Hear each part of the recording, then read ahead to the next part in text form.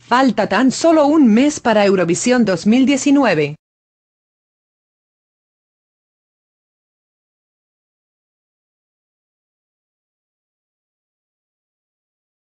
Miki Núñez, concursante de OT 2018, está con los últimos preparativos de su actuación.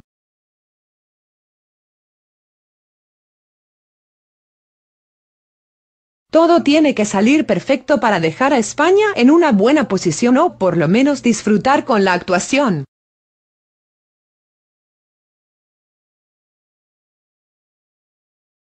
Ya que eso de ganar el festival más importante de la música está más que el olvidado.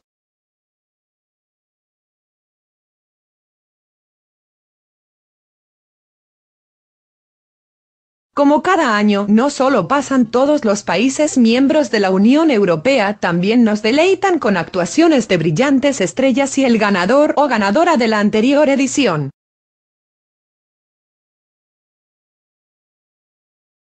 En esta ocasión será Neta la encargada de actuar y ceder el testigo al nuevo ganador o ganadora.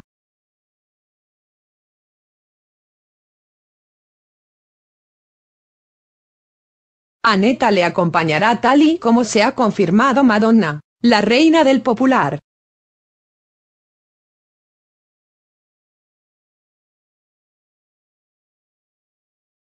Esta gran participación ha tardado meses en cerrarse.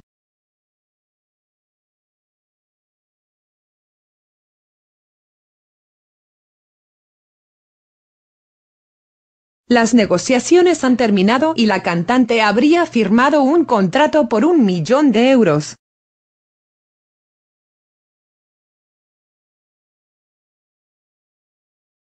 Era un precio desorbitado, pero finalmente el empresario multimillonario Sylvan Adams se hizo cargo del caché del artista.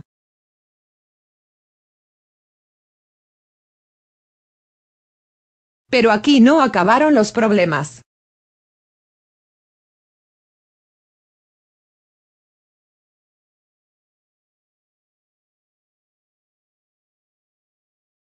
Madonna quería interpretar una de las canciones de su nuevo disco.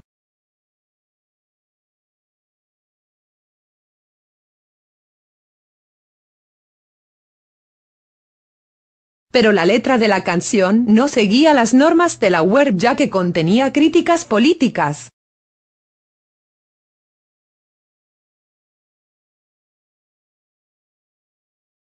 Finalmente ambas partes han llegado a un acuerdo y el próximo 18 de mayo cantará en directo para toda Europa en un escenario único y para el festival más visto del mundo.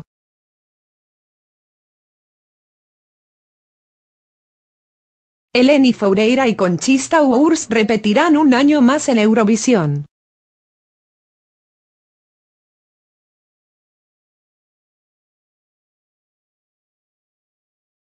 Ya están confirmadas.